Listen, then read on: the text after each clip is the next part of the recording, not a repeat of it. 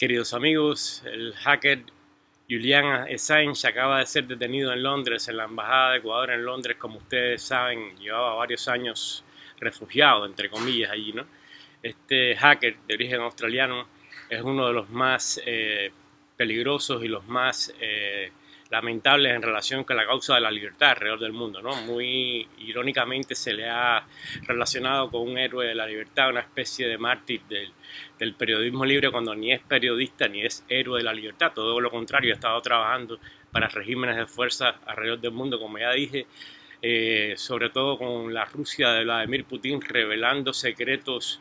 delicados de, la, de, las democracias occidentales y siempre aludiendo de una forma u otra a dar información sobre las dictaduras de, de, este hemisferio y alrededor del mundo en general, tanto Venezuela como Cuba, como la propia Rusia, etcétera, etcétera, etcétera. A continuación vamos a despejar